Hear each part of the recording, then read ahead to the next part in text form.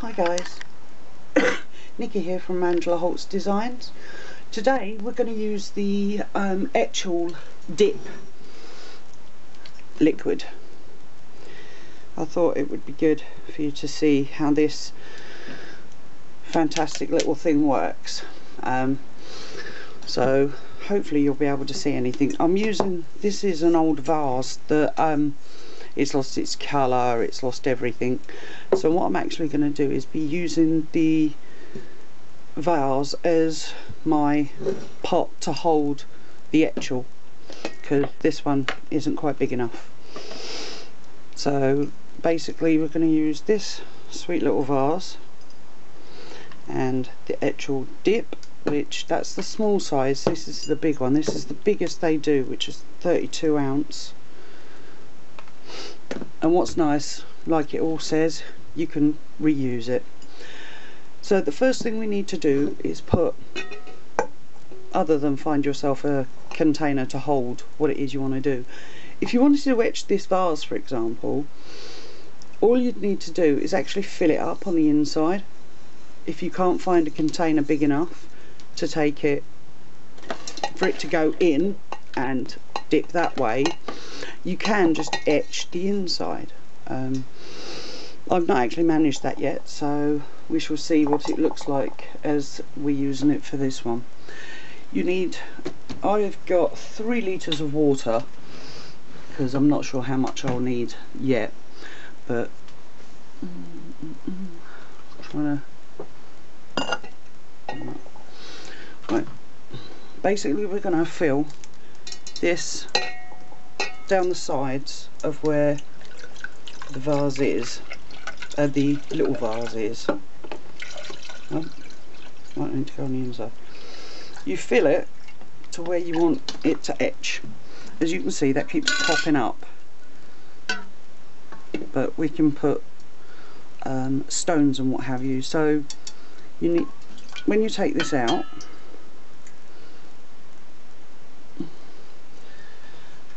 dry that one in a minute. First thing you need to do is okay, where's it gone? Ah, there it is. yes, I have one of the Sharpies I'm using. Right, as you can see, the water is to here. So all we're going to do is mark a line exactly where the water has gone. Now I'm going to empty the water out.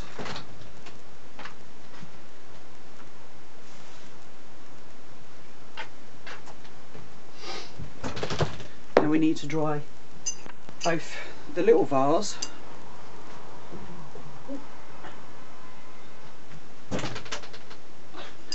and the big one and get all the water off it. I actually find that the kitchen roll is the best. We have a little bit of water in that one. Inside isn't too much of a problem because you're not um, etching inside it, you're etching the outside. So it needs to be bone dry.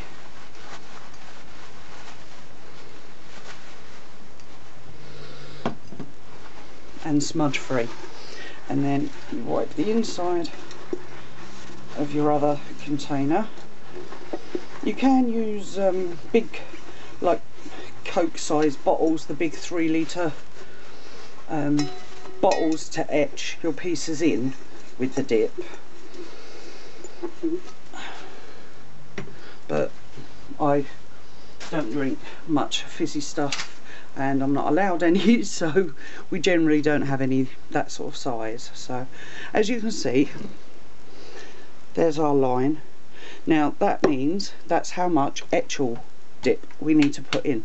First thing is we need to find something to hold this little vase down. So we need something that's heavy.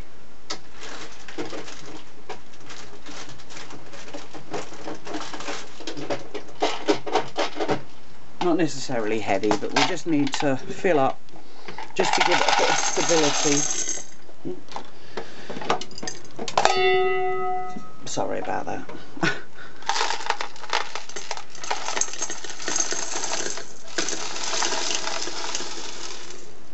I would recommend using dried peas or anything sort of that you would use for baking rather than the um,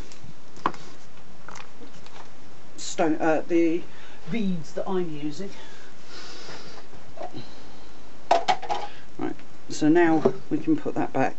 No, we don't put that back in yet. Get it right. Right. Oh God. There we go. Right. When you buy this, this is how it comes. And I don't know if you can see. That's the colour of when you get it. So we take this mark and we pour the etchall up to that mark.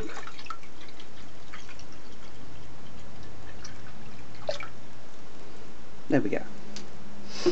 And because it all gets poured back into the pot afterwards, it's nice that you're not wasting so much. So now you take your vase or what piece you wanted to, no I might need more in there. Okay, right. Now you leave this for the 15 minutes. So I shall be back in a minute. I'm just going to put some more beads in there. I recommend filling it up as much as you can. Right, I'm back. I've um, used a couple of bits to hold the jar in because the I couldn't find anything heavy enough and the rice wasn't heavy either so I've used as I said a few bits to keep it in place so now we can take it out. I'm just going to pop it over there for a minute. And what we're going to do is pour this all back all back into its bottle.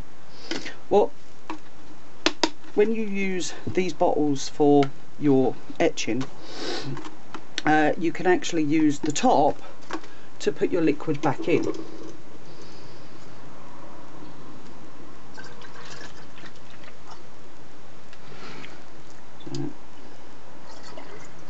it straight back through.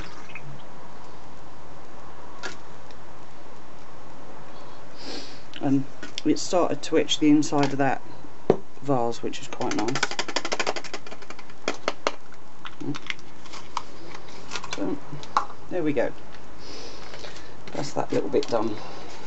Now, we need to give this a rinse and empty the contents. First thing I need to do is empty the rice out. It's a bit damp inside mine, which isn't a problem because this rice is only for um, using it in crafting rather than to eat. Mm. Let's move that all out of the way.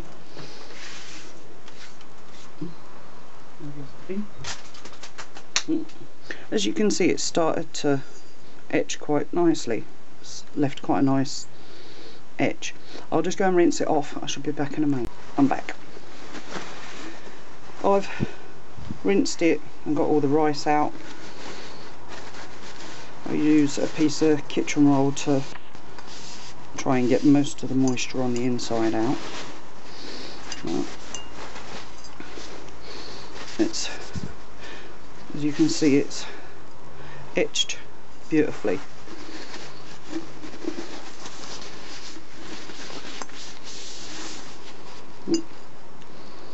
I think the etchings actually got inside the jar uh, inside the vase. Going by this piece. But that's not too horrendous because I'm actually going to be covering that top piece. So now you've put your bits back you can now decorate as you wish. Um, and I'm using some of my bits from Angela Holt's Shabby Chic Kit November which you can get sign up for now. Um, her blog will be at the bottom of the video along with the Etchall link to their shop which is etchall.com this is the lace that came in the uh, shabby chic kit. And I'm just literally cutting the whole piece in half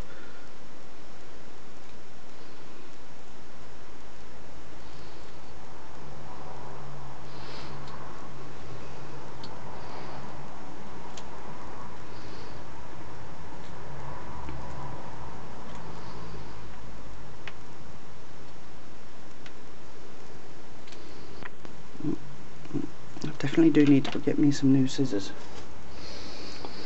But what I want to do is basically so it gathers round here. Um, yeah, I'm going to have to do the sewing. I've lost where my needle's gone. Ah. No. That's the thread, not the needle.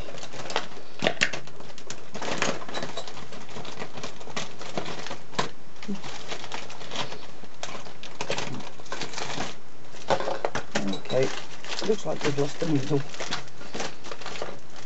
Right, have to go and... Right, I'm back with a needle and thread.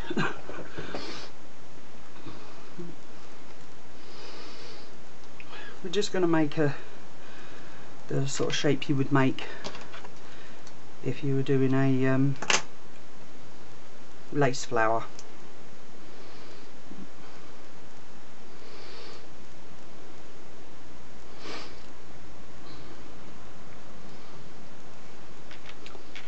You put your double little knot here. Oops. she says. Mm. Yeah, it's been a bit mad here at the minute. Um, my brother has come to stay with us. So he's down from Stockport. We don't see him very often.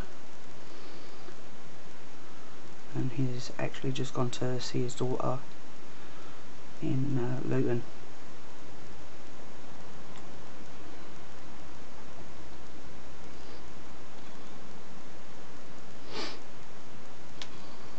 Oh are you kidding me?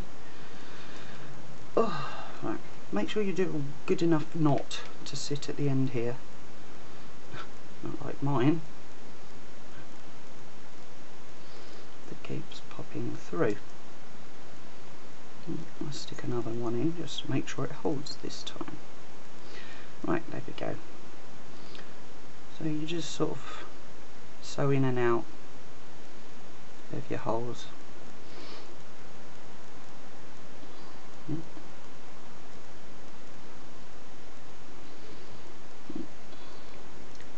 and I can't actually wait next Thursday I'll be going to Brighton, uh, Birmingham and staying with a friend. And then we're going to the NEC to do some craft shopping.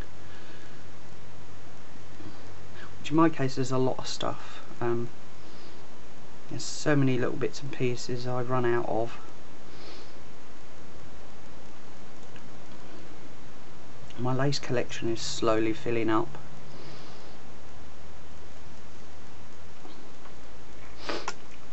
And the laces that you get in the kits as well as those you can buy on your on their own from Angela's shop are beautiful. Mm, she's got the little kitty one that everybody's gone a bit nuts for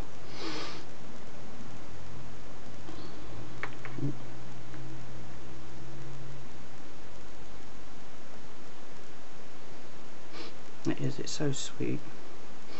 And it's the one I used on a little bag that I made for somebody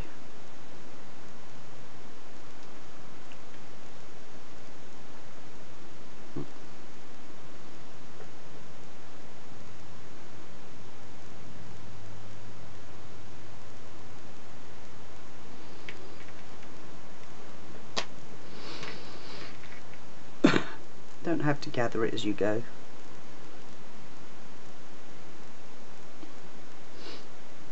I'm using a big piece because I don't know how much lace I need for what I want to do. I'm basically going to make a lace collar for the little vase which I can't believe it got inside and etched the rice maybe don't fill it up quite so much with rice next time. But as I said I'm covering that piece so that's not too horrendous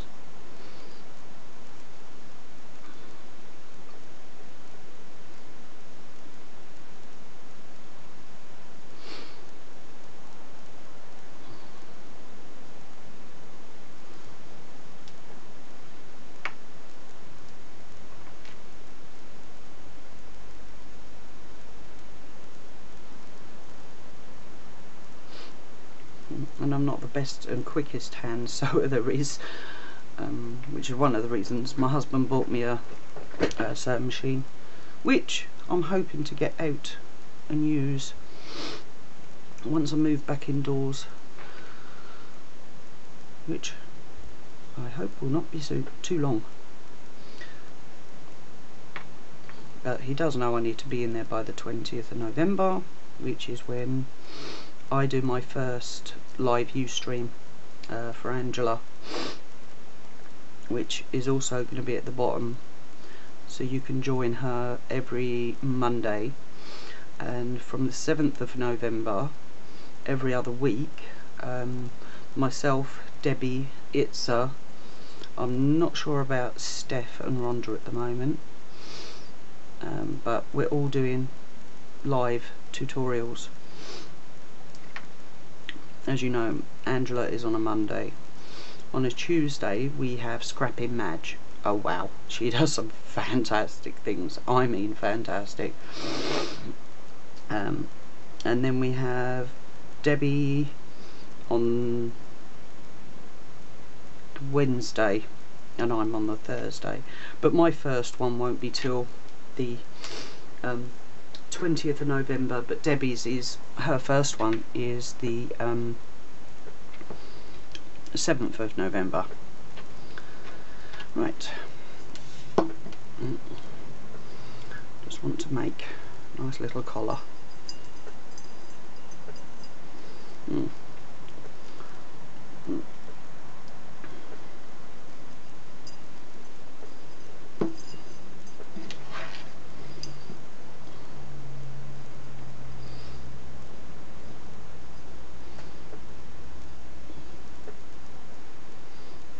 and I do recommend hot gluing this down once you've done.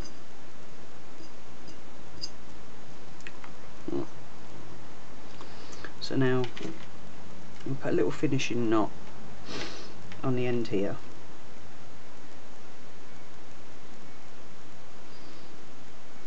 Because you don't want it gathered too much like you do a normal lace flower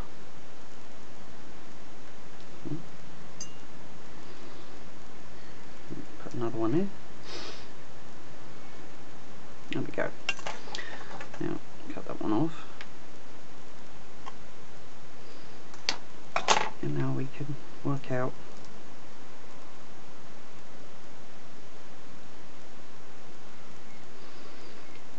which is the front and the back of the lace. Mm. Mm -hmm. There we go.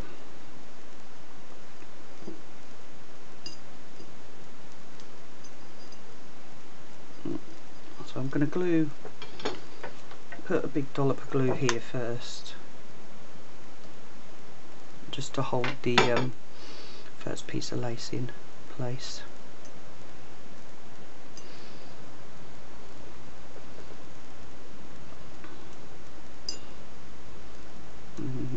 Piece.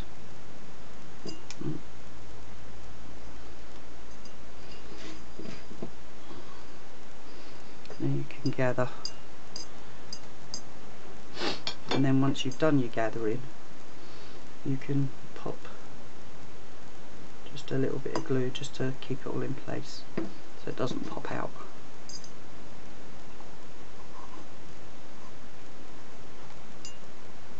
Doesn't need to be loads, just enough to hold it.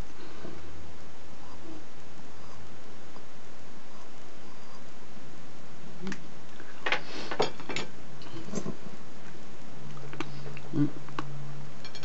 Yeah, I'm gonna add a tiny piece of glue just here so we can hold these pieces together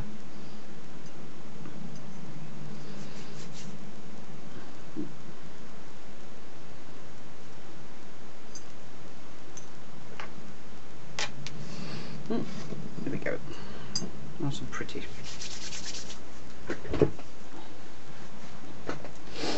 mm, this is also out of Angela's lovely shabby chic kit. Cute little applique rose.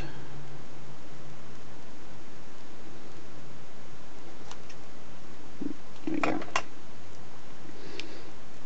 Now I would like that up here somewhere. I think. Let's make sure we have the back there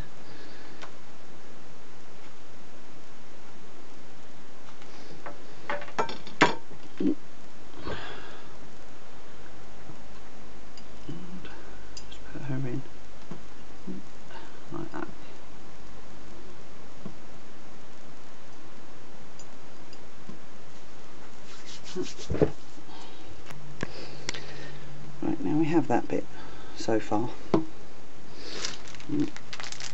Was I got some goodies this morning, um, the laces and the ribbons that I'd ordered, and I ordered some of this beautiful green um, organza. I'm thinking that'd look quite nice around the top there. Or we could actually do the same as we just did and do the sewing and then put that round think that would look quite nice.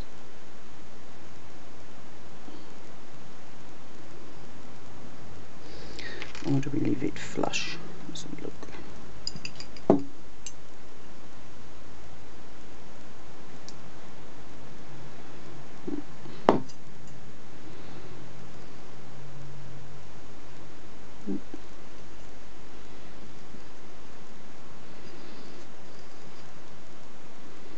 Hmm, actually I quite like it flush. I'm actually going to start it from here because then I can hide the seam, the beginning of the um, ribbon.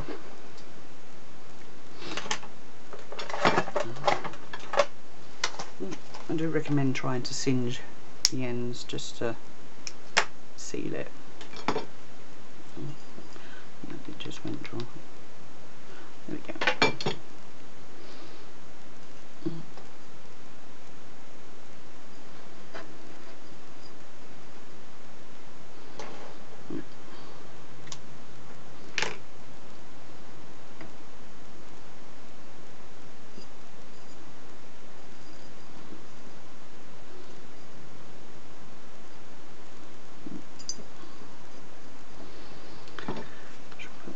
in first and then I can cut that bit and I can then glue the other bits down if I need to.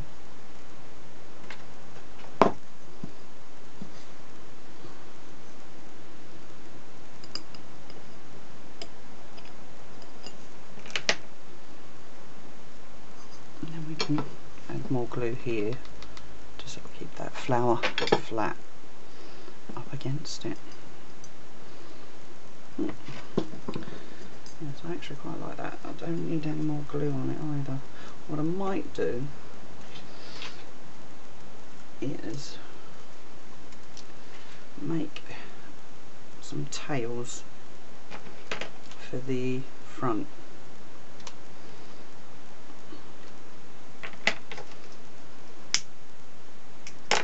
All that does is stops the fabric fraying.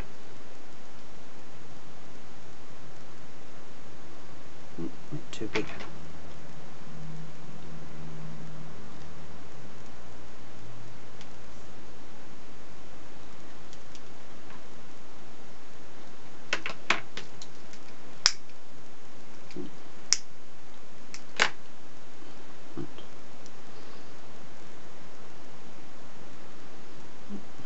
And I like the burnt edge, edges on that one.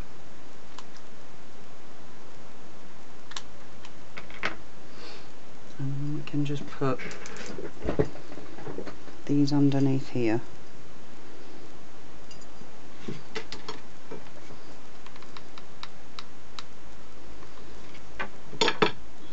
Hmm. Ah, come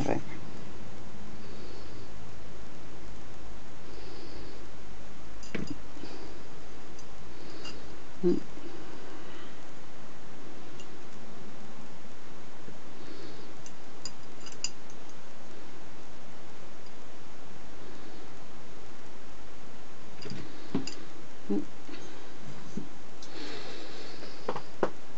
Just wondering if it actually needs anything else. I don't think it does. I think it's quite cute just as it is.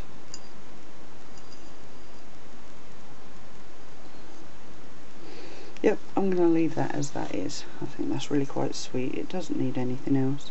You can add a candle if you wanted to, um, but I don't have one that fits. Um, I did start cutting one down, but it's going to take too much cutting down to pop in there. so I do recommend trying to find a candle that fits your hole for your, of your vase. So there we are. That's Etchall and the Shabby Chic November kit mixed together. So I hope you like it. I think that's really quite cute.